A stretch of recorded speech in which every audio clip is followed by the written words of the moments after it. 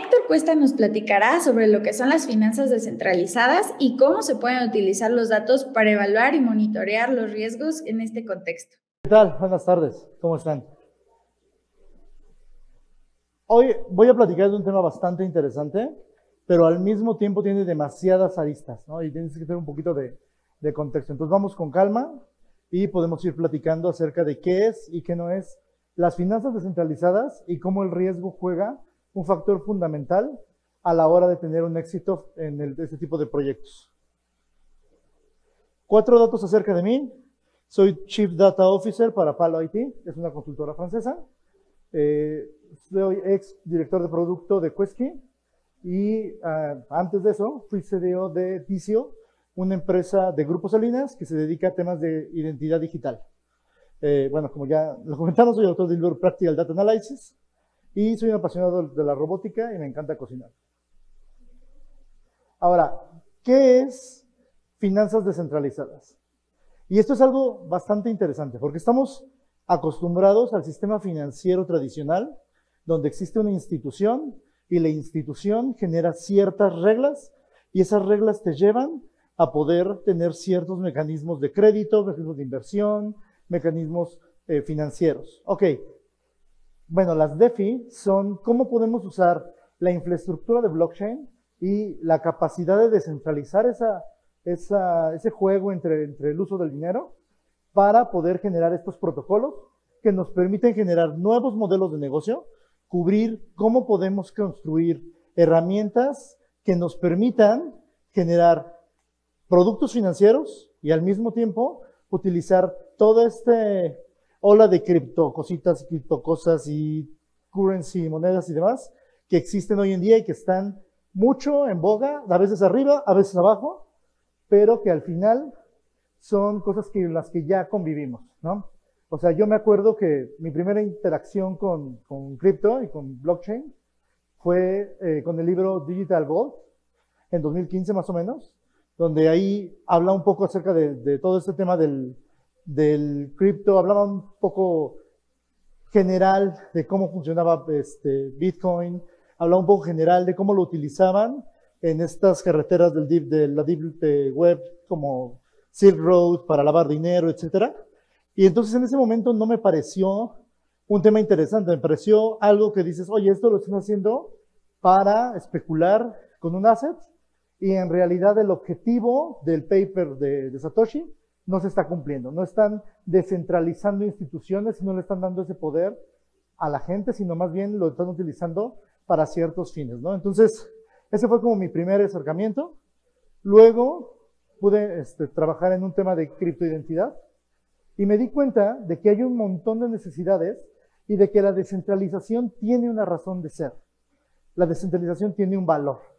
Y eso es algo súper importante y súper relevante. ¿Por qué es importante esto?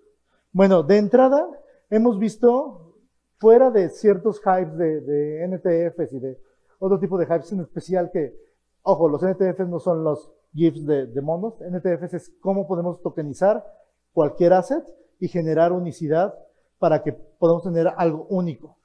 Puede ser un boleto de, de un concierto, puede ser este, un libro, puede ser algo coleccionable, puede ser parte del asset de una casa, parte de una acción de una empresa.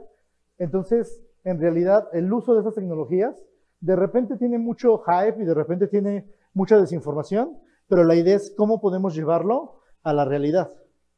Y aquí en DeFi es algo muy interesante porque nosotros tenemos la habilidad y la posibilidad de poder democratizar el acceso a las instituciones financieras.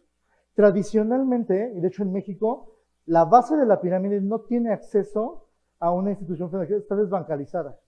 Entonces, es muy complejo acceder a crédito, es muy complejo acceder a inversión, es muy complejo que la gente pueda involucrarse con este tipo de actividades. Y si lo vemos en los últimos dos años, podemos ver que de entrada los productos de DeFi del 2021 al 2022 han crecido exponencialmente. Ahorita vamos a platicar de qué es y qué no es, ¿no? Pero al final es cómo yo puedo jugar con este boom y poder hacerlo accesible para las personas. De hecho, el problema fundamental de blockchain y de las cripto en específico es el acceso. El problema es la masificación. Y como hasta ahora se ha vuelto solo un, objeto de especulación, no se ha podido llevar al uso correcto del dinero.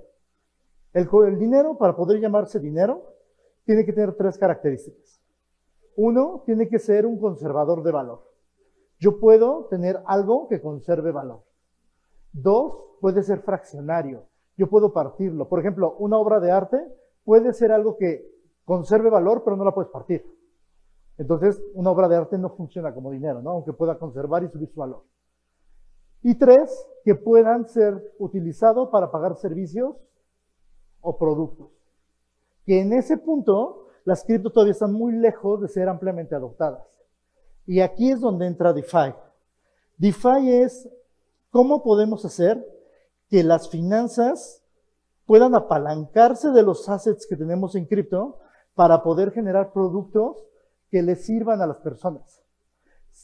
Aquí una pregunta, ¿quiénes tienen cripto? ¿Quiénes tienen este, Bitcoin, Ethereum, este, Solana, este, Riddle, cualquier, cualquier, cualquier este, cosa cripto? Ok, si yo les dijera, oigan, compren un café en Starbucks con cripto, ¿ustedes qué me dirían? Estás loco, ¿no? De entrada, el poder pasar de cripto a fiat es costosísimo. El costo de las comisiones para sacar dinero de cripto hacia fiat es muy caro. hay una barrera de salida importante. Dos, por el tema de la, de la volatilidad que tienen estos assets, el utilizarlo como trade para poder comprar un café es algo complicado, ¿están de acuerdo? O sea, si hoy les dijera, oigan, ¿cómo pueden ustedes comprar un café en Starbucks con cripto? Las opciones son muy limitadas, ¿no? O sea, hay esfuerzos, se, pueden, se puede generar una tarjeta, haces un crédito en, fiat este, y, lo, y lo pasas a, a cripto, etcétera. Pero las DeFi están diseñadas y están pensadas para poder darle ese acceso a las personas. Ahora, Pensemos en el mecanismo más tradicional. Pensemos en el crédito. Todos hemos usado crédito en algún momento de nuestra vida, ¿no? Todos podemos saber que vamos a una institución financiera y le pedimos fondos y esos fondos devuelven a la institución financiera con cierto interés o ciertas tasas y ciertas comisiones. Period. ¿Cuál es la diferencia entre pedir un crédito en DeFi y pedir un crédito en la finanza tradicional o en la banca tradicional? De entrada, hay una diferencia fundamental, que es la institución. Normalmente en, en, unas finanzas tradicionales existe un banco, el banco tiene ciertas reservas y el banco tiene ciertos productos y por ejemplo con débito, fondea crédito, etcétera, y ellos generan un nivel de protección acerca del ahorro y generan un nivel de, de infraestructura alrededor del crédito que te permite acceder a él. Pero tiene muchos problemas. Uno de los problemas fundamentales es que no a todas las personas les dan crédito. Uno de los problemas fundamentales es que el interés es absurdamente alto. ¿Por qué el interés es absurdamente alto? Bueno, y de hecho en varias pláticas lo, han, tocado el tema de fraude, porque en México y en la TAM y en el mundo hay grandes temas de fraude. Hay grandes temas de default, que es dejo de pagar sea, no es fraude, pero simplemente no pago. Y entonces, ¿qué está pasando? Pues que esos que no están pagando tienen que cubrirse con los que sí están pagando. Entonces se genera un interés muy alto. Y esto viene de un tema que se llama confianza. Yo para poder, como institución bancaria, darles un crédito, necesito, uno, saber quiénes son, tener un tema de identidad, y dos, entender claramente que ustedes pueden pagar, que tienen la capacidad de crédito. La intención de crédito es otra cosa, pero la capacidad de crédito la tienen que tener. Y entonces tienen a círculo de crédito, a buró de crédito, generando información acerca de su identidad que me dice si pueden ser ustedes capaces de pagar un crédito o no. En DeFi funciona un poco diferente. En DeFi nosotros podemos tener, en lugar de tener una banca central, nosotros tenemos un smart contract Hoy vamos a hablar enteramente de Ethereum, no voy a hablar de Solana ni ninguna otra cosa. Vamos a ver un, smart contract donde hay varios componentes. Puede ser en fiat, puede ser en dinero, este, corriente, en dólares, en pesos. ¿Y eso qué pasa? aquí hay un gran truco. Tú dices, oye, pero si tienes el dinero, ¿para qué lo pides prestado? Por los impuestos. El crédito no genera, no genera impuestos. Entonces, si tú tienes un asset en cripto y lo que haces es generar tu, colateral y pides un crédito, el dinero que se genera del crédito, uno, no tiene impuestos y las comisiones del, del transporte entre Bitcoin y fiat o dólares no existen. Y entonces te quedas con el interés normal, regular de un crédito. Y entonces tienes ahí varios elementos, porque uno, por un lado, garantizas tu apalancamiento financiero y por el otro lado, entiendes que ese dinero sigue ahí, puede subir, puede bajar, pero tienes un eh, loss stop. ¿Qué significa? Cuando el, cuando el precio de tu, de tu colateral baja a cierto nivel, se liquida y pagas el crédito y todos iguales. Entonces, es algo donde uno, la institución financiera, no interviene desde el punto de vista de saber quién es, saber si va a pagar, etcétera. Tenemos por un lado a el, deja su colateral y por otro lado tenemos mecanismos que hacen la liquidación que permiten que los intereses sean muy bajos. Porque al final yo sé que si no me pagas tengo una garantía. Y entonces, este mecanismo tiene muchas ventajas sobre el crédito tradicional. Voy a darles un par de ejemplos de plataformas DeFi y hoy vamos a platicar de datos de Compound, que es uno de los protocolos más importantes. Entonces, dentro de DeFi tenemos, por ejemplo, Uniswap, que es para intercambio descentralizado de criptomonedas. Está IP, que es una plataforma de préstamos. Está Compound, que es una plataforma de préstamos. Y entonces, ustedes ya tienen un montón de opciones. Y esas opciones, algo interesante es, si ustedes han interactuado con cripto en algún momento, ustedes saben que todas las operaciones de cripto son visibles, todas son trazables. Y eso es algo bien interesante. Es trazable la operación, pero no la identidad de quien lo operó. Eso es algo interesante. Y al ser completamente descentralizadas, la anonimicidad se garantiza en una mayor medida. Cuando tú tienes un exchange centralizado, pues entonces tú lo que estás haciendo es dar tus llaves a un intermediario y ese intermediario puede ser intervenido por el gobierno, etcétera. Ahí es una situación completamente diferente. Pregúntale a, ¿cómo se llamaba? FTX, este, que en realidad en el mundo cripto hay un dicho que es no keys, no coins. Si no tienes tus llaves, no tienes tus monedas. ¿Sale? Entonces es algo importante. Tiene retos también. O sea, esta parte de poder tú, de forma descentralizada, manejar tus assets, tiene retos principalmente en tu propia digitalización. Tú eres responsable de tus currencies, tú eres responsable de tus llaves, eres responsable de cómo se ejecutan tus transacciones. Si, por ejemplo, en un banco tradicional se hace un fraude, tú tienes cierto nivel de protección al consumidor o tienes una institución a la cual demandar. Aquí lo que tienes es un componente descentralizado donde hay gente que, presta, o sea, que deja su dinero como garantía y sus colaterales y gente que pide dinero. Entonces, ¿cuáles son los tipos de riesgo? Los tipos de riesgo alrededor de un mundo financiero normalmente son el comportamiento del usuario, la volatilidad de la garantía en colateral. Por ejemplo, si tienes tu colateral en, Bitcoin y el colateral está volando mucho, subiendo y bajando, etcétera, pues es una garantía que puede llegar a liquidarse muy fácilmente. Tienes una liquidez, relativa a la garantía colateral. Esto es, por ejemplo, si Ripple de repente se va a cero, pues simplemente se, pierde tu garantía, ¿no? Si, pues, se liquida tu cuenta, ¿no? Entonces, de repente hay muchos mecanismos que puedes hacer. Por ejemplo, diversificar tus, este, tus tipos de, de criptos, mandarlo a un stablecoin, utilizar monedas de último recurso como Lumen, etcétera, que te permiten tener una, un cierto nivel de riesgo menor.